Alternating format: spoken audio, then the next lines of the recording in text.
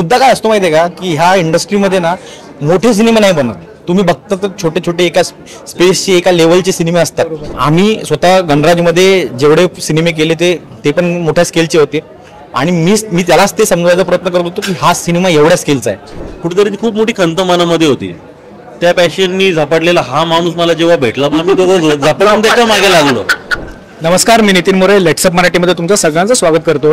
वारी सुरू झाली आहे. महाराष्ट्राच्या प्रत्येक शहरातून वारकरी आपल्या वारीला आपल्या पंढरीला आपल्या विठ्ठलाला भेटायला पंढरीमध्ये जात आहेत. आणि याच सगळ्या रिंगणामध्ये एक नवाकोरा चित्रपट आपल्या भेटीला येतोय डंका नावाचा.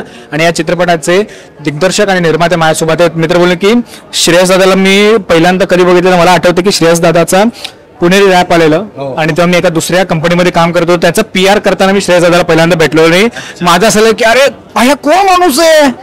हे कैसा आहे? कारण का रॅपरची एक प्रतिमा असते ना डोळ्यामध्ये की भाई एकदम झगामगा मला बघा पण दादाचं तसं काहीच नव्हतं. साधे सिंपल कपडे घातलेले पण त्याचा जो ओरा होता तो आज एका तसाच आहे. दादा काय सांगशील? एकंदरीत डंका घेऊन येतोयस. का किती महत्वाचं आहे विठ्ठल तुझ्यासाठी? किती महत्त्वाचे आहे रखुमाई तुझ्यासाठी आणि किती जवळचे आहे तुझ्यासाठी दोघेही? सर्वप्रथम मला हे सांगायचं आहे की रवींद्र फड हे आमचे निर्माते आहेत. आणि रवींद्र फरा फडांनी माझ्यावरती विश्वास ठेवला. पहिल्यांदाच मी तसं बघायला गेलं तर माझी स्वतःची प्रोडक्शन कंपनी आहे गणराज स्टुडिओज म्हणून. आणि आम्ही निमित्ताने वेगळे वेगळे वेगळे वेगळे सिनेमेस काढत राहतो. पण पहिल्यांदाच मी असं बाहेर निघालो आहे आणि मी यांना सिनेमा पिच केला. आणि रवी सर इकडे आपल्या नाशिकला होते. आणि त्यांना ते मी पिच केलेलं त्यांना ते आवडलं. आणि ते असं मो मुद्दा काय असतो माहितीये का? की ह्या इंडस्ट्रीमध्ये ना मोठे सिनेमे नाही बनत. तुम्ही बघता तर छोटे छोटे एका स्पेसचे एका लेवलचे सिनेमे असतात. काही लिमिटेड मेकर्स आहेत जे लार्जर दॅन लाईफ आणि असं दाखवायचा प्रयत्न करतात.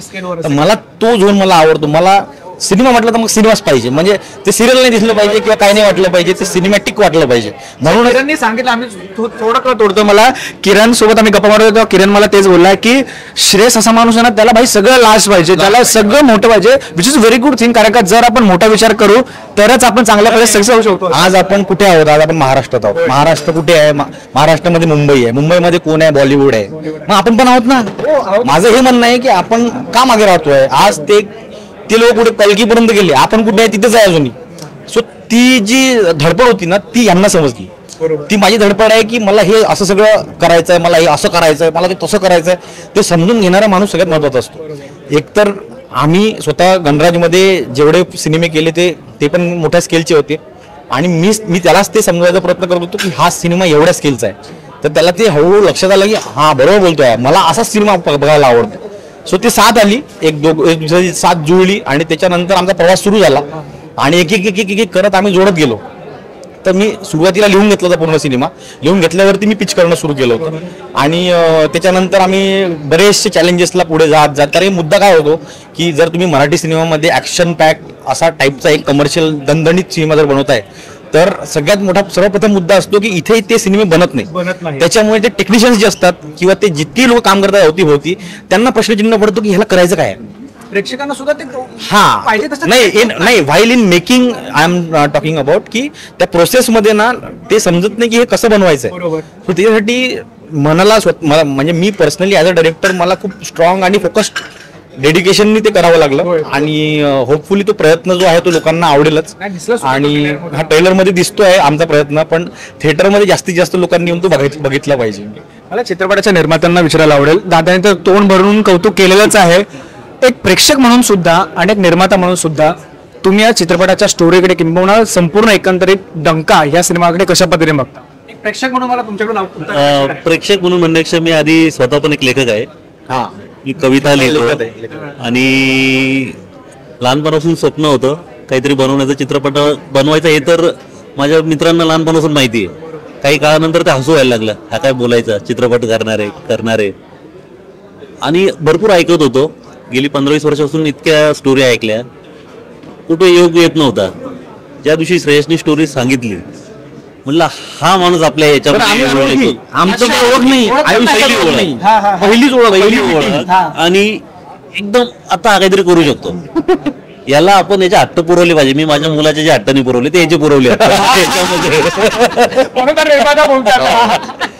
नाही हट्ट पुरवायला पण तुमच्यामध्ये ते हे पाहिजे. ते काढून घेता आलं पाहिजे. तर त्या गोष्टींमध्ये हा सर्व गोष्टींमध्ये पात्र होता. बरोबर. माझ्या बाजूने मी ते तर देऊ शकत होतो पण आणखी काही गोष्टी आम्ही दोघं मिळून डिस्कस करून त्याच्यामध्ये होत. होतो आणि मराठी सिनेमासाठी हे सर्व सुरू होतं. हे पैसा किंवा हे याच्यासाठीचे प्रयत्न नाहीये जेन्युनली सांगायचं झालं तर.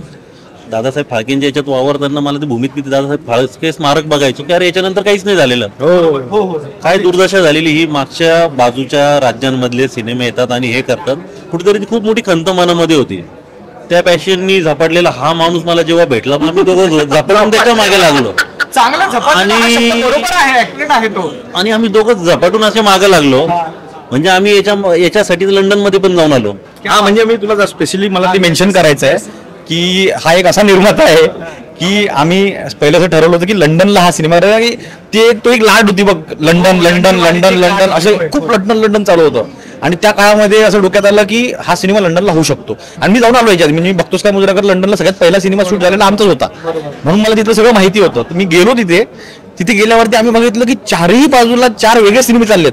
तर आमचं असं झालं की यार नको हे लोक छान करतायत इथे सगळं. यांचं चाललंय.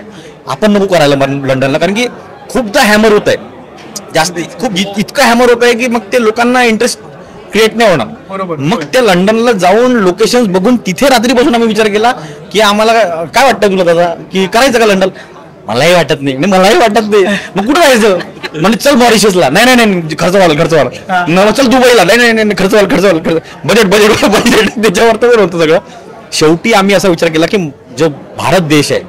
जो महाराष्ट्र आहे ह्याच्या अवतीभोवती जितके चांगले रमणीय स्थळ आहेत त्या जागेवर कुठेतरी का नाही करावं? सो ती जी व्हाईब होती ती आम्हाला गोव्यात सापडली.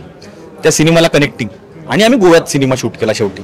आणि तो अप्रतिम पद्धतीने आता तो दिसतोय की गोवा पण दिसतंय मस्त आणि छान वाटतंय बघताना. नाही ना नक्कीच नक्कीच. नाही खरंच खूप भारी वाटतंय. तुर्तास मी इकडे थांबतो कारण का ना मला हा इंटरव्ह्यू सारखा इंटरव्ह्यू नाही करायचा. आपल्याला गप्पा मारायचा. आपण यानंतर सुद्धा भेटू आणि आपण मला या दोघांनी ज्या आठवणी सांगितल्या त्याच्यावर मला असं वाटतं की आपण फक्त गप्पा मारूया. इंटरव्ह्यू तर राहिला बाजूला कारण का गप्पांमधून जे विषय निघणार आहेत ना त्या इंटरव्ह्यू मध्ये निघत नाहीत कधी कधी तुर्तास मी इकडे थांबतो. धन्यवाद लेक्सा मराठी सोबत गप्पा मारल्याबद्दल. आणि तुमच्या दोघांसोपासून तुमच्या संपूर्ण टीमला all the very best thank you so much thank you thank you जय हरी विठ्ठल जय हरी विठ्ठल